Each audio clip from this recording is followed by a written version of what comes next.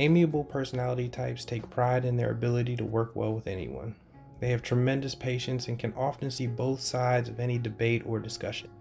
While usually at odds with the driver communication style, this pairing within a group tends to promote a good balance between finishing the task and making sure that everyone feels included.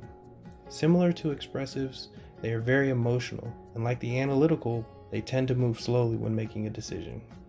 To ensure success when communicating with a person who prefers the amiable communication style, it is important to approach them casually and with sincerity.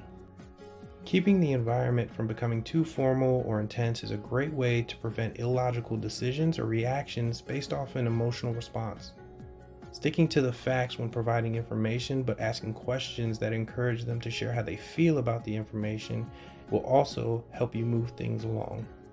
Be sure to finish the discussion with an encouraging statement or affirmation.